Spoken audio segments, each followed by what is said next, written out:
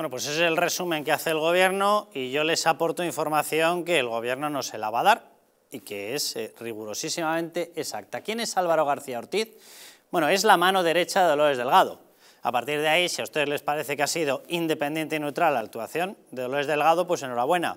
Si les parece que no, y que se notaba esa presencia del gobierno por todas partes, básicamente porque ella había hecho campaña, había sido ministra de Justicia, básicamente porque daba órdenes a diestro y siniestro, pues eh, ¿qué va a hacer Álvaro García Ortiz? Pues lo mismo, era la mano derecha, ¿vale? Por lo tanto, continuidad en ese desastre que eh, algunas de las asociaciones de fiscales han calificado como la peor etapa de la Fiscalía, ¿vale?, en toda la etapa democrática, ¿vale? Bien, ¿qué más ha sido? Ha sido el fiscal de Prestige, saquen ustedes sus propias eh, conclusiones, ¿vale? Acaba de considerar, tercer hecho, totalmente cierto, esto acaba de ser ahora mismo, porque además él estaba en ese asunto, acaba de considerar prescrito el asesinato de Miguel Ángel Blanco.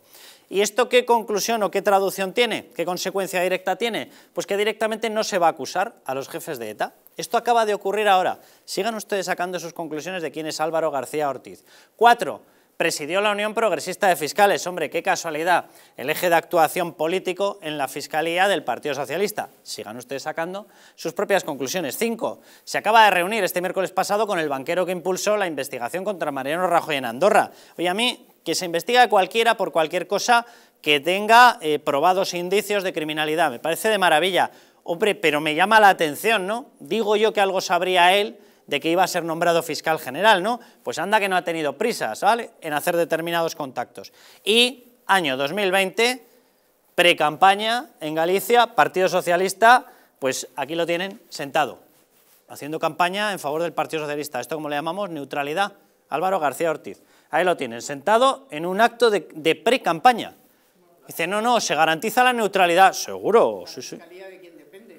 No, totalmente. Como le dijo al periodista.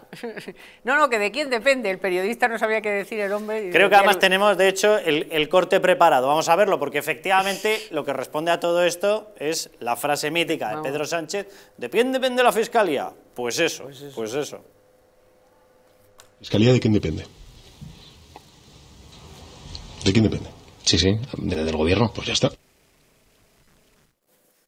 además se lo hace contestar al periodista. ¿Eh? ¿Eh? ¿Eh? ¿De quién depende? ¿Eh? ¿Eh?